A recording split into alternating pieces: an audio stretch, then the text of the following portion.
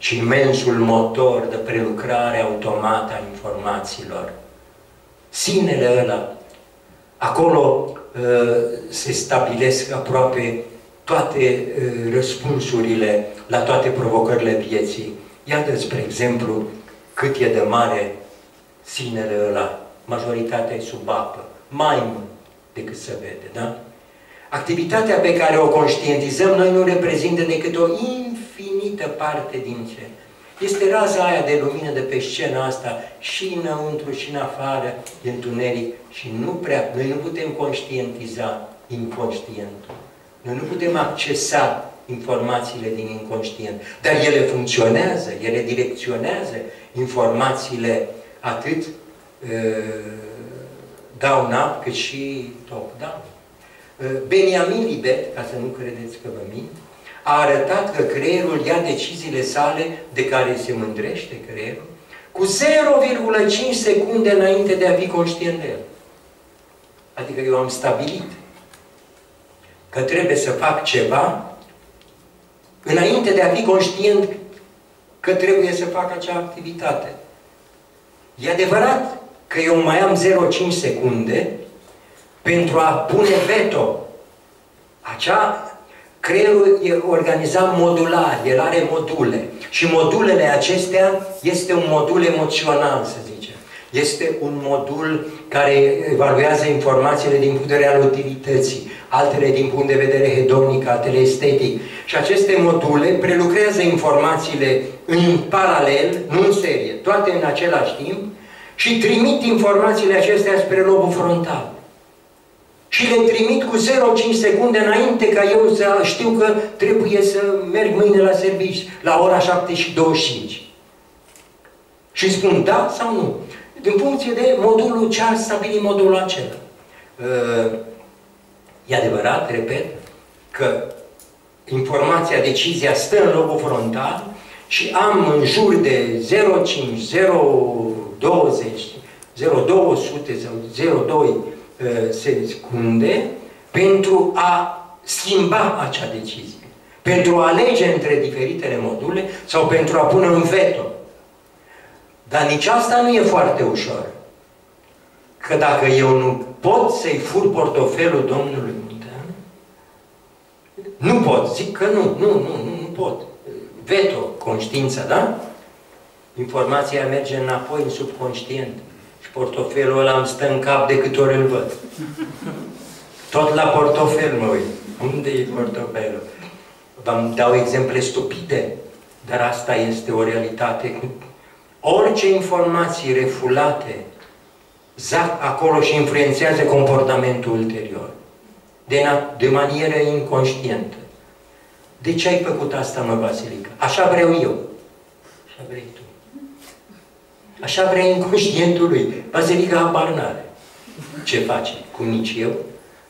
Nici dumneavoastră, inconștientul nostru și bine face, că el înmagazinează acea experiență. Acolo sunt instincte, sunt motivații, sunt ratări. Acolo se află și latura ascunsă a personalității noastre, de care vorbea Carl Jung. În fiecare dintre noi zace un mic ticălos. În fiecare, nu neapărat, dar în general. Uh, Freud spunea că în fiecare dintre noi zace un mic psihopat. Îți vine să o ciupești de fund pe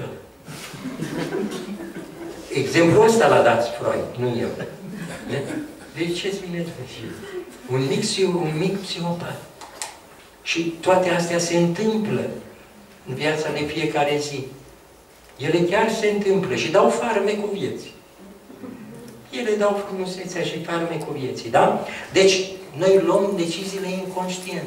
Ochiul minții am ajuns, ochiul minții e inconștient. El vede lumea așa cum o vede inconștientul nostru. O vede prin ceea ce eu vroiam să fiu regizor și o văd mereu sub ochii unui regizor. Altul, am ratat această ocazie, dar ea este acolo. Dorința este și ea mereu interpretează și uh, comentează și Poate credeți că ne...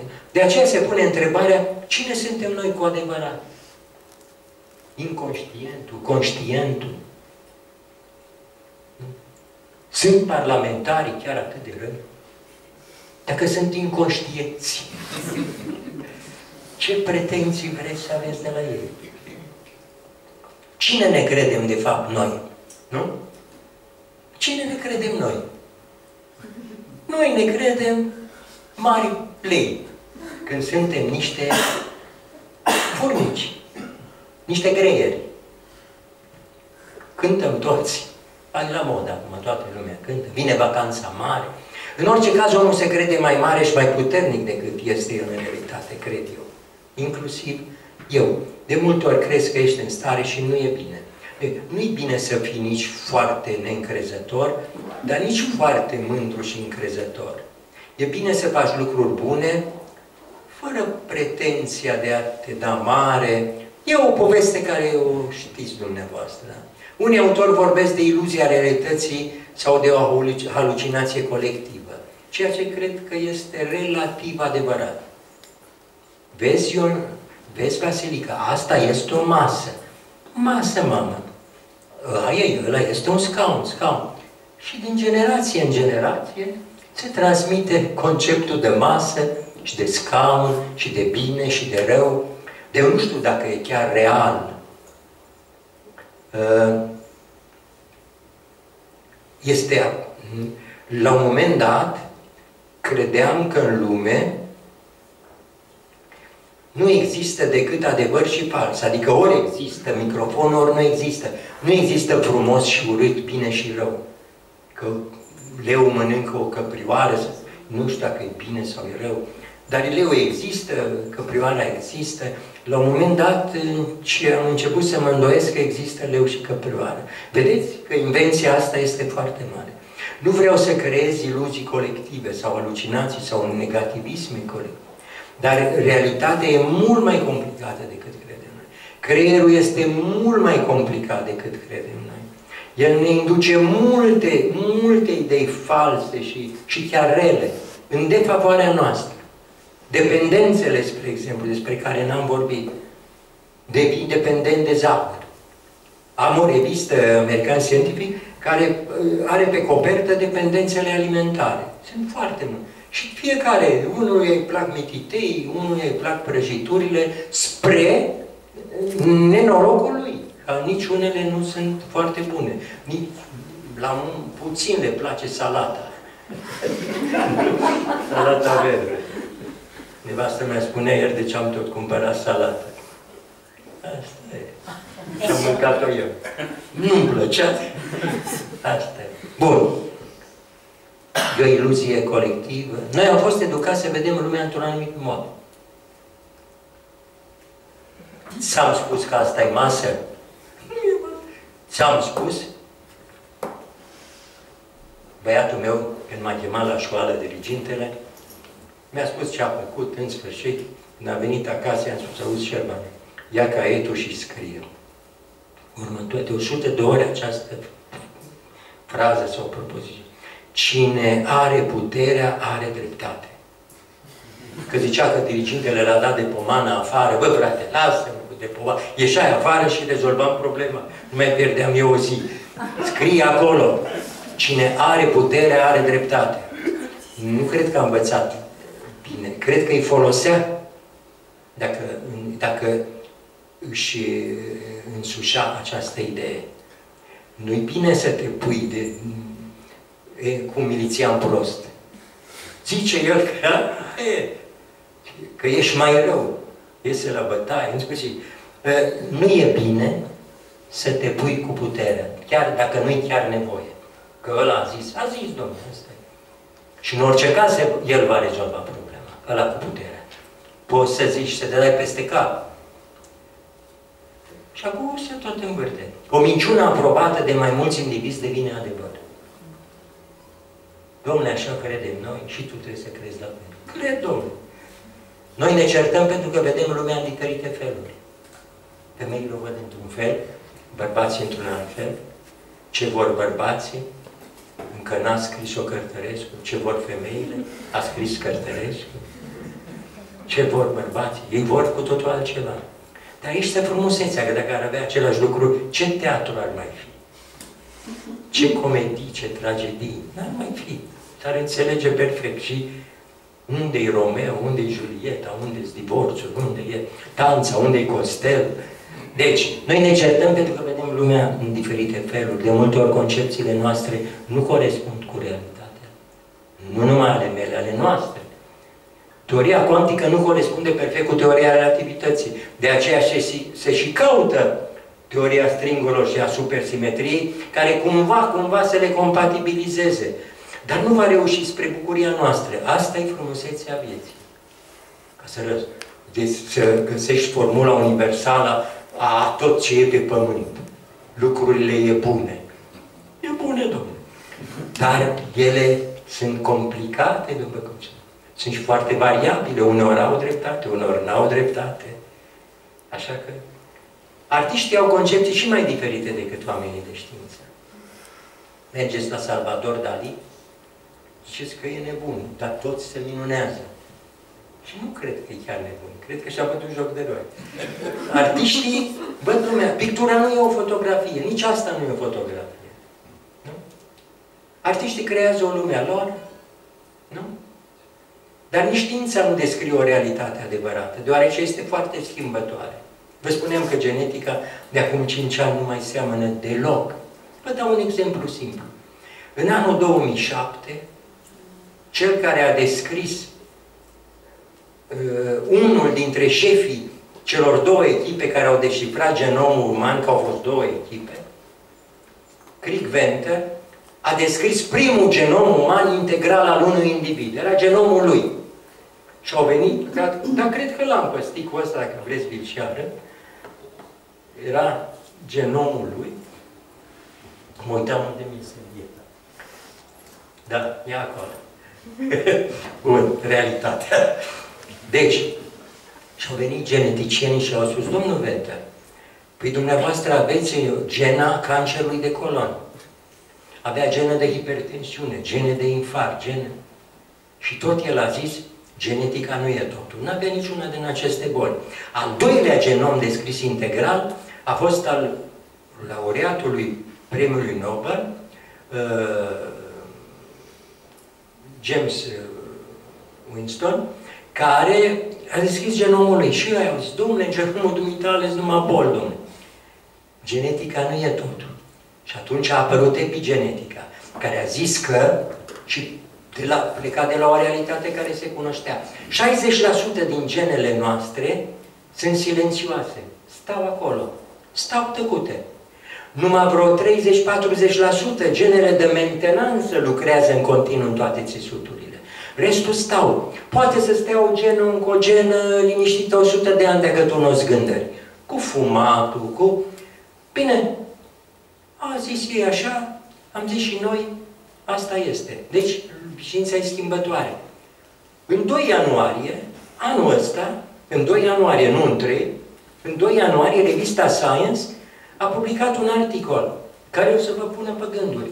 Scris de doi oncologi renumiți americani, Tomasetti și Wolkenstein, Wolkenstein de la John Hopkins University, care au spus că cancerul este un ghinion. El nu e produs de nicio cauză, el e un ghinion care apare în timpul diviziunii celulare. În timpul diviziunii apar diferite erori. Vrei, nu vrei, apar. Și dacă ai ghinionul să apară o mutație de cancer, faci cancer. Organizația Mondială a fost mare discuție. În 15 ianuarie, dacă vă uitați pe internet și cereți Tomasetti și Wolgenstein, uh, veți vedea lucruri foarte frumoase. Deja de la 3-4 ianuarie, toate ziarele ziceau, domnule, faceți ce vreți, că oricum cancerul nu depinde de voi. Ascultați? Căutați pe internet și vedeți știință. Și OMS-ul, Federația Mondială a Sănătății, în 15 ianuarie, deci imediat, vedeți cum lucrează știința. Nu așteaptă guvernul până să trezește, până vine. Nu, domnule. În 15 ianuarie, căutați pe internet, Organizația Mondială a Sănătății a dat o, o, Comunicat. o, Un comunicat? un comunicat. A dat un comunicat de presă în care, prin care, directorul Institutului Internațional de Cancer, care e organul specializat al Organizației Mondiale a Sănătății, a spus că, următoarele rețineți, majoritatea cancerilor nu sunt rezultatul unui ghinion. Nu asta ce ați înțeles? Că majoritatea nu, dar unele da. Și dacă unele da, tot aia e.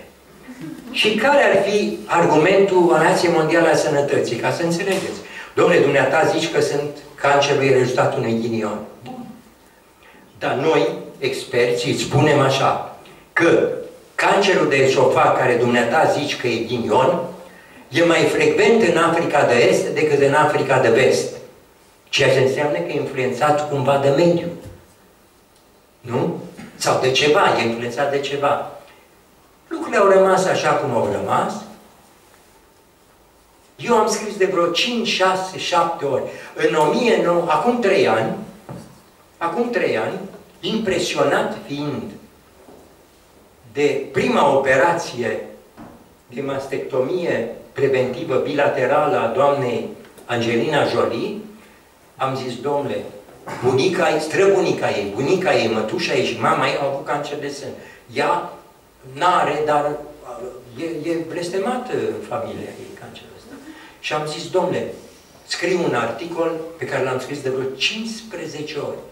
Am vorbit cu doctorul Mihailide, zic, uite băi, vreau să scriu un articol de la Gregory Mendel la Angelina Jolie.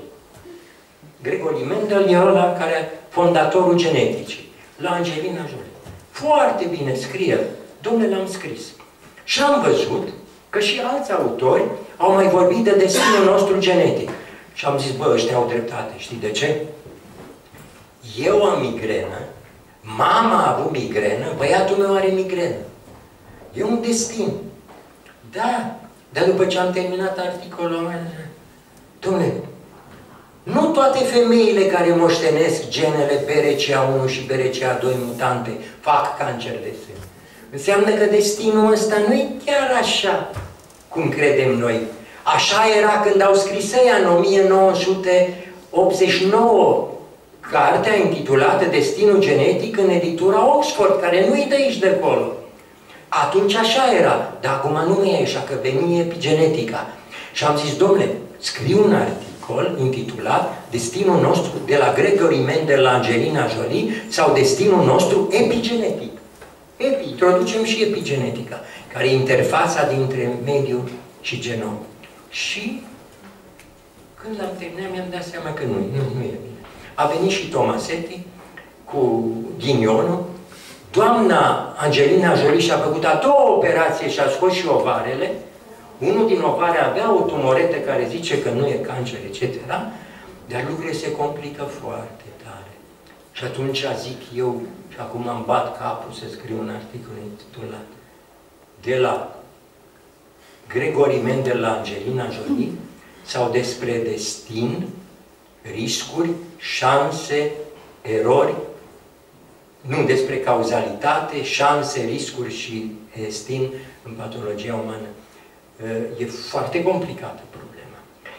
Noi zicem că noi cunoaștem cauza gripei. Aiurea? Dumneavoastră toți puteți să aveți gripă și eu nu fac gripă. Cauza era. De unde am făcut gripă? Evident că cauza e mai importantă decât uh, expunerea mea la soare, să zicem, care și ăla produce niște boli, da? Dar uh, totuși, nu poți să... O cauză produce întotdeauna un anumit efect. Sunteți de acord? O gripa n-a produs la mine efect. Pe de altă parte, eu fac hepatită C, știu că am hepatită C, trăiesc liniștit și peste 25 de ani fac ciroză. Păi unde e cauzalitatea Domnului? De 25 de ani s-a tot învârtit cauzalitatea asta prin corpul meu și ce s-a ales. Vedeți că lucrurile sunt foarte frumoase. Ele se leagă și să știți că acolo unde nu, Ovidiu spunea când l-au detașat romanii la Constanța, la Pontul Eusin, că fericit este cel ce cunoaște cauza. Nu cunoaștem cauza. Că până la urmă există boli monogenetice, hemofilia, etc., care se transmit uh, mai exact, boli poligenetice, cum e cancerul, hipertensiunea, dar nici alea monogenetice noi nu putem să fim siguri. Că nu toți băieții din mame cu purtătoare de hemofilie fac hemofilie. Unul face, unul nu face. Cine? Știți că a fost un laureat al premiului Nobel pe care îl chema Jacques Monod, care a scris o carte intitulată Între hazard și, hazard și necesitate. Dacă eu puteam să fiu fată, cine a determinat să fiu băiat? Ba, șansele să fiu fată erau mult mai mari. Pentru că în jurul ovarul, în jurul ovulului care avea un X, se învârteau trei de X și un Y. Că tata avea numai un Y, avea și un X. De acord? Tatăl meu avea în genomul lui un spermatozoid avea X, unul Y. Ce l-a determinat pe ăla de Y să intre și să devin băiat? Dar după ce am devenit băiat, zice Mono, atunci lucrurile devin clare. Trebuie să te comporți ca atare, vei avea bolile astea, vei face... Dar e un moment, un moment de nedecidere, cum e și în teoria cuantică și peste tot, și toată povestea asta îmbracă în aspectul ăsta. V-am ținut cu vorba, dar ca să vedeți cât de frumoase sunt lucrurile și cât de aproape de viață. Că nu e numai Angelina Jolie. Pot fi eu, puteți fi dumneavoastră. Oricare dintre noi vom fi, că nu o să trăim la infinit. Și până la urmă, dacă vom discuta mult și nu ne vom culca o zi, două, vom ajunge la termodinamică. Că până la urmă e un joc care se duce între organism și mediu pentru ordine și dezordine și care poate, care pe care și până la urmă mediul învinge că asta e, dar e o altă poveste care e foarte frumoasă, dar nu e complicată, dar e puțin mai lungă. Multe dogme au fost treptat înlăturate. V-am spus, dogma geneticii, las că o să descoperim noi, că de asta s-au băgat bani, 3 miliarde de dolari ca să descoperim genomul uman. Credeam că găsim gena hipertensiunea, e o reală, n-am găsit nicio genă. Ăla are gena hipertensiune și are tensiune 12, și eu n-am gena hipertensiune și am tensiune 18. Și tot acum s-au descoperit gene candidat, după aia a venit uh, uh, epigenetica, după aia vine nu știu ce și așa mai departe. Unii spun că fizica teoretică nu are nicio legătură cu realitatea. Nu cred că au dreptate, dar e oarecare adevăr. Dar aceasta este mersul lumii, în care 80% din deciziile și teoriile noastre sunt invenții din capul nostru. De aia se și, da, și frumoase, nu? Aceste concepții aproximative au dus lumea înainte, da? Omul a venit aceste concepții au făcut lumea tot mai comodă și mai frumoasă. Asta e Palatul Versailles. Frumoasă era. Și frumoasă este lumea. Și Dumnezeu a făcut-o. Și omul a contribuit în mare măsură. Dar lumea noastră ar putea fi chiar și mai frumoasă decât este în realitate. Dacă creierul nostru ambivalent și înșelător, și bun și rău, ar vrea cu adevărat acest lucru. Dar creierul nostru inventează și bune și rele. Cu imensa putere pe care el a acumulat-o azi, creierul nostru se află, cred că și dumneavoastră sunteți de acord, la o mare răscruce. La o mare răscruce. Ar fi suficient să, să subliniem deteriorarea mediului înconjurător, da?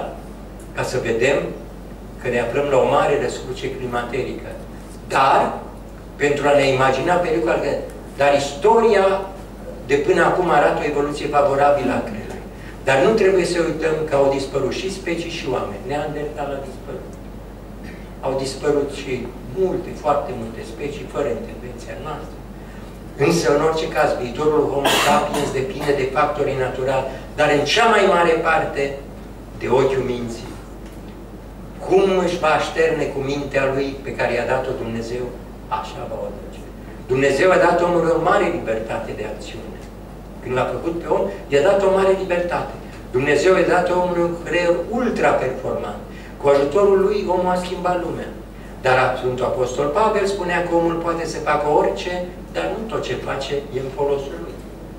De aceea Sfântul Evravie spune, recomandă lupta cu gândurile. Să ne luptăm cu gândurile noastre. Să le promovăm pe cele bune. Cred că putem. Cred că putem. Cred că am putea. și nici nu văd de ce diavolul ăsta a pus stăpânire pe lume. Așa se pare. Vă mulțumesc foarte mult!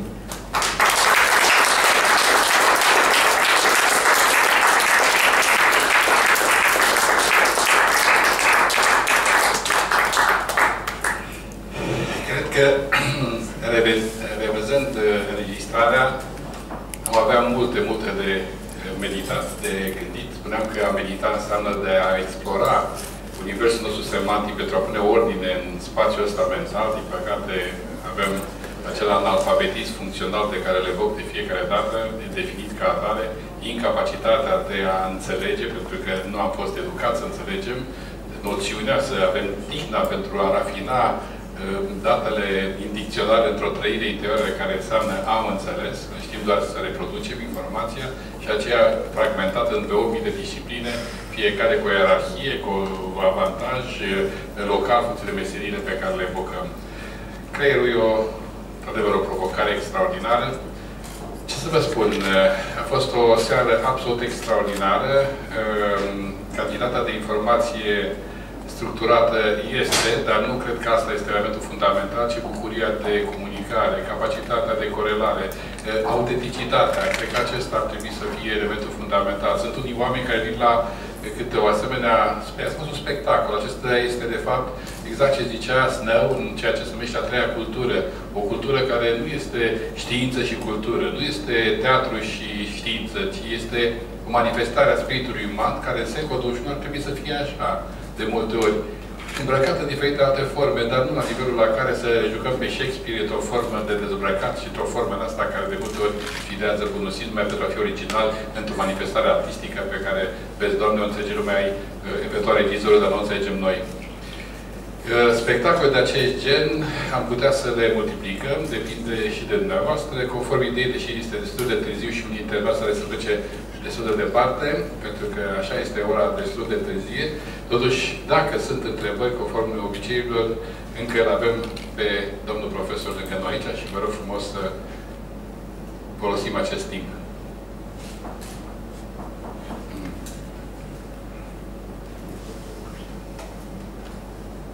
Seara. Uh, aș vrea să întreb ce se întâmplă în minte când uh, nu sunt gânduri nu se poate. Primul organ care moare este creierul. Când creierul are, nu mai are activitate, omul poate fi declarat mort. Uh, nu mă refer, mă refer la gândurile involuntare, nu la... Uh... Ale involuntare. Alea țin pe monitor linia aia. Nu la cele care comandă uh, organismului să aibă diverse Toate funcții. gândurile alea, dacă se întrerup, alea nu moare. Moare. Okay. Așa e el făcut. De fapt, întrebarea era despre meditație, unde, da, unde de fapt... Uh... Meditația reprezintă poate una din posibilitățile cele mai utile de a ne face, uh, cum să zic eu, viața mai frumoasă și creierul mai liniștit și organul mai sănătos. Și toată, toată lumea asta să o vedem în meditația, toată lumea recunoaște asta în meditația și rugăciune. Dar din păcate, vedeți, la noi predomină o mișcare extrem de rugă, împotriva mișcare ultramaterialistă, împotriva acestor lucruri relativ uh, să știți că în Statele Unite ale Americii, din 126 de facultăți de medicină, 80 au catedre de medicină spirituală. 80. Deci, uh, nu e, cum să zic eu, ei își dau seama că uh, spiritualitatea, religia, 90% din bolnavii americani cred că Dumnezeu îi poate ajuta iar vrea să discute cu medicul asta, dar numai 10% din medici discută cu ei problemele acestea. Deci, vedeți, când omul se îmbolnăvește, el se apropie mai ușor de, de spiritualitate. Vrea un ajutor de undeva, de sus, de jos, de undeva, care și vine. Și vine. El vine. Dar noi suntem cu concepție ultramaterialistă. Numai mâncarea, fumatul, băutura, dar există atât de multe alte lucruri în comportamentul nostru, în stilul nostru de viață, care pot fi la fel de deunătoare ca și, ca și aceste stresuri care se iau de obicei în discuție. Aș vrea să vă întreb dacă, Săna Dobișa, dacă știți sau ce știți despre meditația transcendentală și unde le afla. Uh, nu știu mare lucru, știu doar faptul că am avut doi, uh, în 1980 am avut doi mari oameni de știință, pe Milcu și pe profesorul Săgleanu, care au suferit din cauza